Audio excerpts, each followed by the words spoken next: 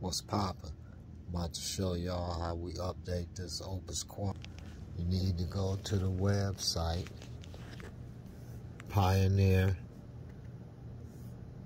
get the firmware update. As you can see right here, firmware up, update.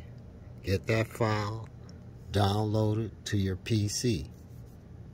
Once you download it to your PC, transfer it to your USB drive. I transferred it to my uh, drive that got my music on it. Once you do that, you're gonna power off the Opus.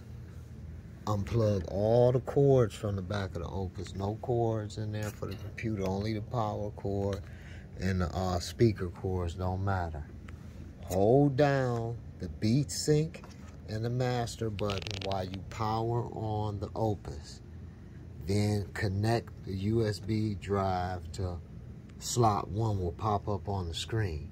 When that pops up on the screen, connect the drive to port one. As you can see on the screen, these three boxes pop up, main deck, mixer, version 1.2 to version version 1.02 to version 1.10. Boom, firmware is complete. Turn the power off and on before using. You feel me? You rocking with the Glove Global, man.